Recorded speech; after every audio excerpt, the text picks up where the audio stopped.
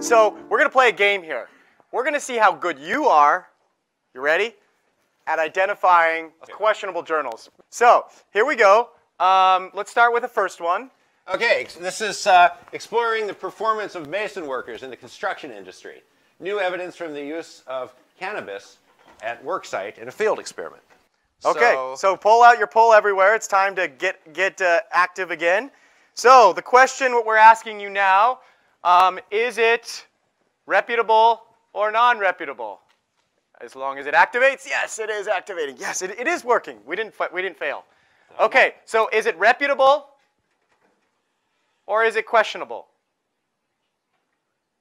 Got a little competition going.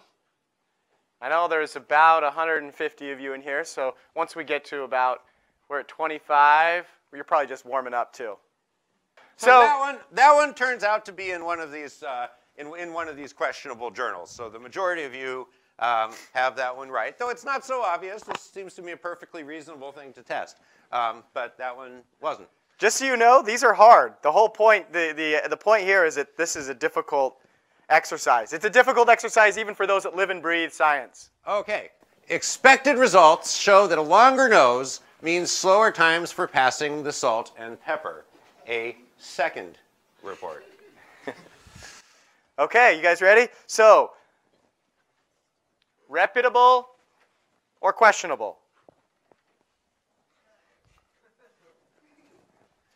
Good. Questionable. That's right. That was another one of these questionable Good job. publishers. Next one. Okay, a proof Okay, of a this. proof yeah, of the this strong is- Goldbach conjecture. In case you don't know, the strong Goldbach conjecture, this paper, notwithstanding, remains one of the great out, uh, you know, outstanding unsolved problems in mathematics. It states that every number greater than 2 can be represented as the sum of two primes.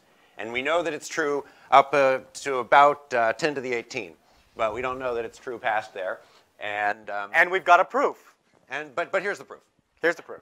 So um, um, that was in 2008. So reputable or not reputable? This is very interesting. You guys have good intuitions. The, we- we're getting a few more people think this is reputable. In fact, this is a reputable journal that made a mistake. So it's not a very good journal.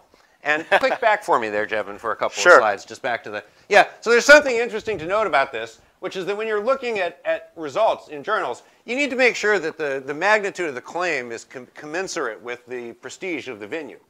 If someone had solved the most important or one of the most important outstanding questions in mathematics, they probably wouldn't have published it in the International Journal of Mathematical Education in Science and Technology, for example. And so that should be a, a hint. And so you can be looking for that um, when, when you find the results. If someone you know, gets this really earth-shattering result and it appears in Science or Nature, okay, maybe it's right. Science and Nature also take some chances, so it may not be. They published the arsenic life paper, Science did, and so on.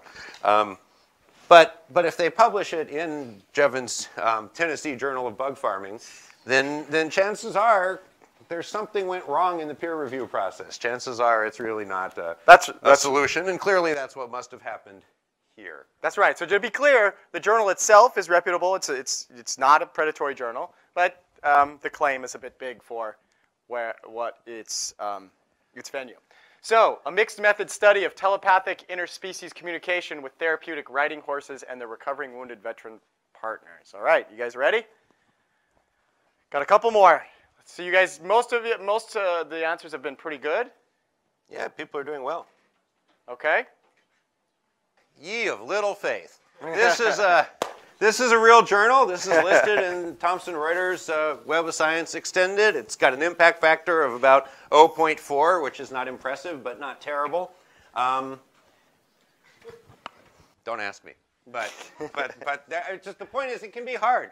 To It can be hard. Give me give me the next one, please. So calling BS in science is hard. Discovering the total contents of the universe. Modern scientists have been searching for clues of some type of extraterrestrial life. However, ancient scriptures give very interesting, important information and detail concerning the total contents of the universe. But it's given in a mathematical language which has long been forgotten by mankind.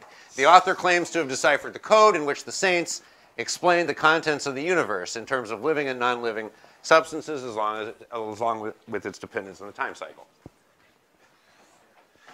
That was fast. Okay. Okay. You guys are right Next. there. There- got that one There's right. always this one. I'm wondering if it's the same. there's something with the system. something with the system. Um, okay. Okay, vaccination and health outcomes. A survey. This was a recent six- paper, yeah, by the way. This is a recent one of six to twelve year olds vaccinated and unvaccinated, based on mothers' reports. So this is a study of whether um, vaccines cause autism, based on asking uh, ho- homeschooling mothers in this particular case.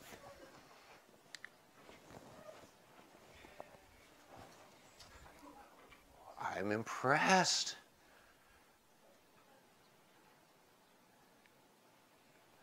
All right. You want to give it away? Yeah, sure. Why don't you click back for me? Let's check This click yeah, back. click back. So that, that was a trick. That was a trick question because this one has been published both in a reputable journal and a non-reputable journal. It was first published in one of the Frontiers journals, which, while not the top of the of the you know they're not top, well, not what I'd call top shelf, are are thought by many to be reputable. Um, it was retracted. Uh, or rather, they would say it wasn't retracted. They would say it was only provisionally published, and then it was removed, um, is their story, and they're sticking to it.